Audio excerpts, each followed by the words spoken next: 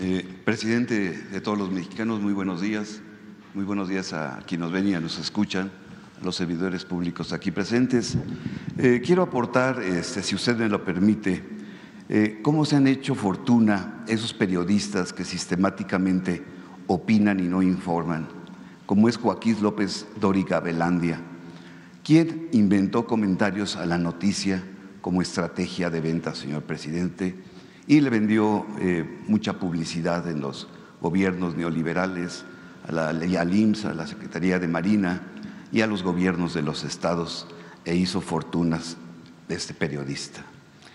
Y quiero eh, comentarle, presidente, que yo en 1999, en la cumbre de la PEC en Santiago de Chile, en el Hotel Asturias, en la habitación 319, me encargaron llevarle su chayo en dólares a este periodista que se dice tan pulcro y tan limpio.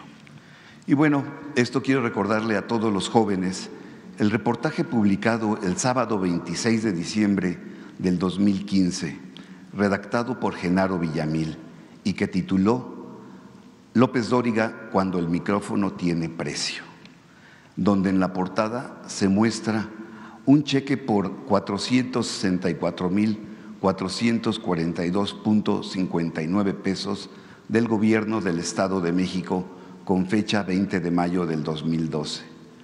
El reportaje narra el pleito inmobiliario entre María Asunción Arumburzabala y la familia del conductor estelar de ese entonces de Televisa, Joaquín López Dóriga Belandía.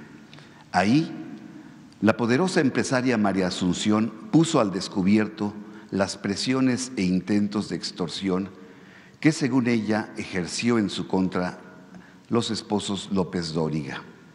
El reportaje realizado por mi profesor Genaro Villamil, que se lo recomiendo ampliamente, deja documentados los negocios que el conductor ha hecho al amparo del gobierno y los micrófonos de la radio y la televisión.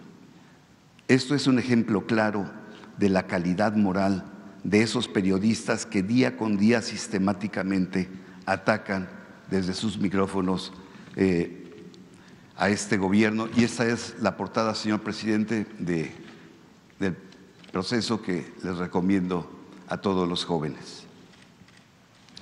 Y abusando, presidente, eh,